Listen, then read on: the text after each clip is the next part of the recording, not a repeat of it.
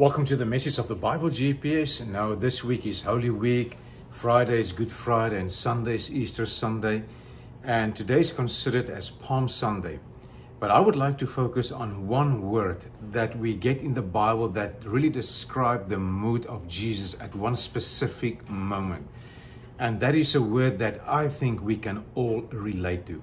But before we go into focus on that one word, let us just bow our heads in prayer. Thank you, God, for this day and for the beauty of the day that we can embrace it. Thank you, Lord, that we can focus on this week about your amazing love for us, that we are the focus of your love. I pray, Lord, that you will open our hearts and our minds so that your word can take root deep down, so that we can be transformed to be the people you want us to be. We pray this in the name of Jesus. Amen. So I would like to read that passage for us. It was the time just after Jesus had his Lord's or his last supper with his disciples. And it is from Matthew chapter 26, and I'm going to read for you from 36.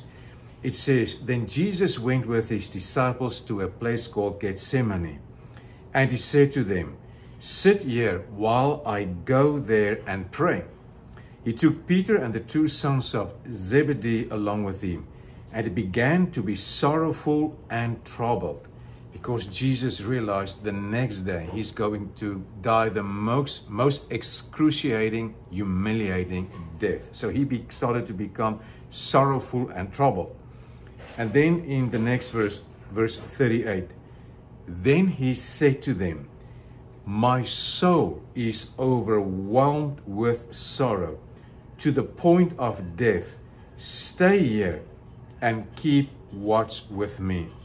And you probably noticed that one word that we can all relate to. It is the word overwhelmed. Jesus said, My soul is overwhelmed with sorrow. Now it's just amazing that Jesus, to whom all authority belongs, could have that strong feeling, feeling of being overwhelmed. And I think that we all can relate to circumstances in our lives where we felt overwhelmed. And when you feel overwhelmed, it is actually a symptom of anxiety. And this is what Jesus felt. You know, he realized the next day is going to be an extremely painful, hurtful day. And when we feel overwhelmed with life, you get you have that moment, you know, you just feel this is just too much. And then a feeling of anxiety overwhelms me, you. And so many people can relate to that.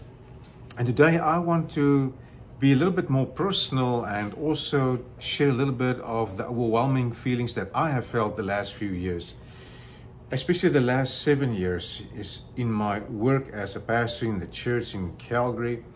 I was just overwhelmed with the challenges there.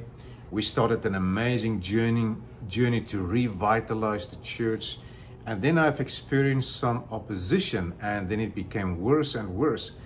And it became overwhelming that you just felt that, you know, as soon as you want to move forward with the congregation, some people just step on the brakes.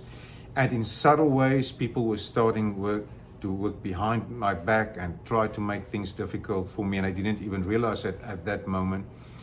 And to make a very long story short, I did had one Thursday morning. I was so overwhelmed that I got my very first anxiety attack, anxiety attack ever in my life.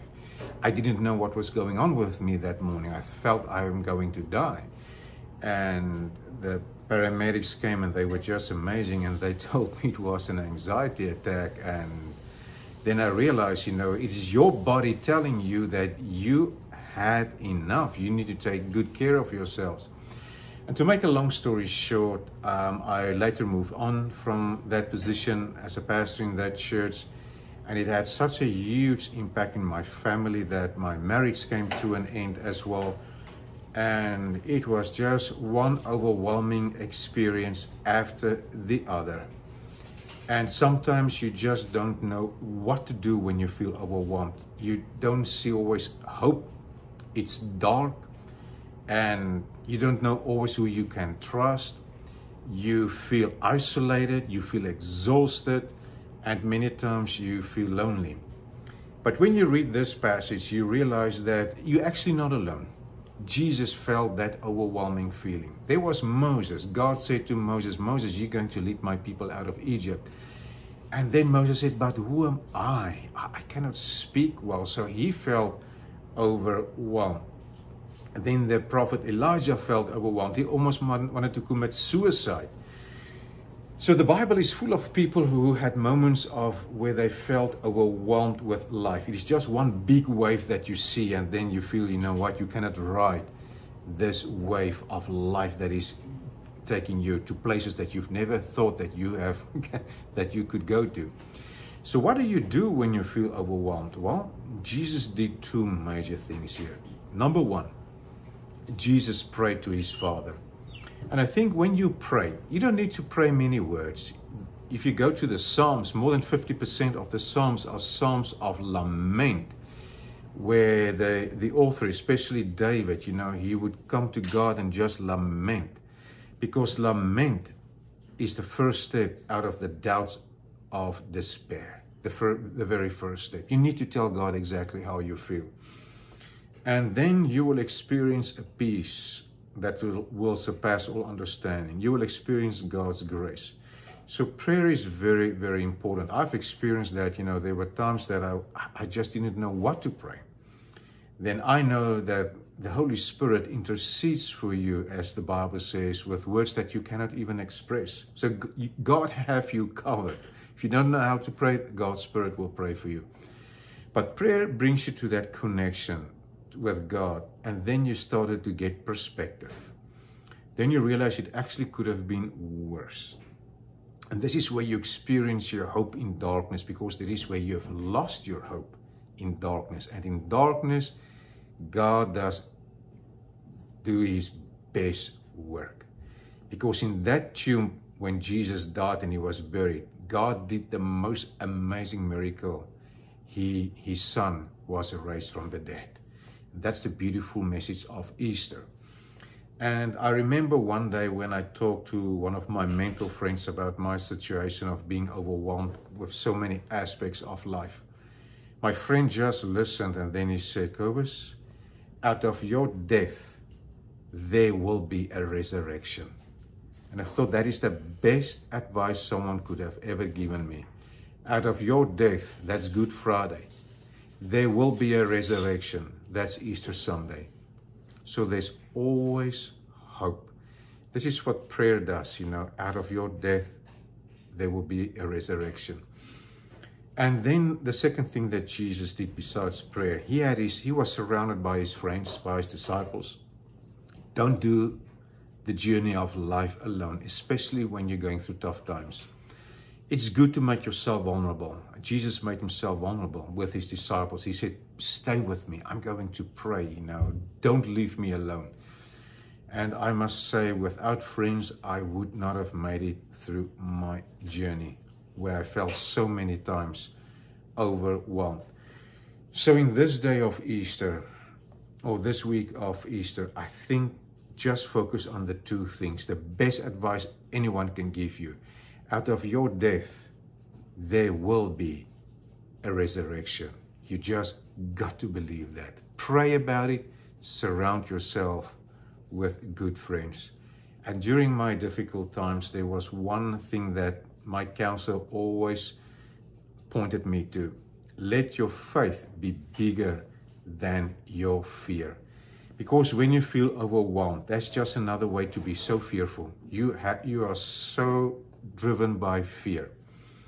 And then fear, you need to realize, can stand for two things. Fear can stand for forget everything and run, or face everything and rise. And with the help of God's um, Spirit, when you pray, and with the right friends you surrounded yourself, you can face everything and rise. Well, today, I also feel overwhelmed, but with different but with a different reason.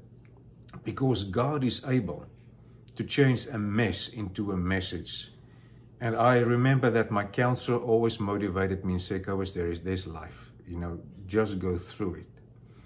And today is a wonderful day for me. God has brought someone new in my life. So today I'm overwhelmed with love, with surrounded by great friends, and in about um, four hours, I will say I do to an amazing woman that God has brought into my life, only by God's grace. So today I'm overwhelmed for good reasons. So wherever you are, trust God. God is faithful.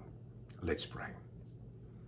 God, we want to thank you for your amazing love. Thank you, Lord, for your grace, that you are there for us, and that wherever we are, we can realize out of our death, there will be a resurrection. Because you are faithful. You take us through our circumstances to new places, to new heights, because you want to give us life in abundance. We thank you for that, Lord. Amen. So, wherever you are, God has placed you.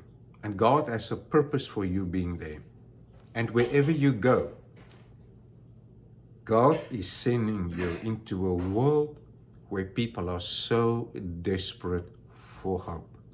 There are so many people are overwhelmed. So many people cannot sleep at night. But their Facebook postings will not reflect that. But just be there for people. So wherever you go, be alert, listen to understand, and become a co traveler for someone in need. God bless you.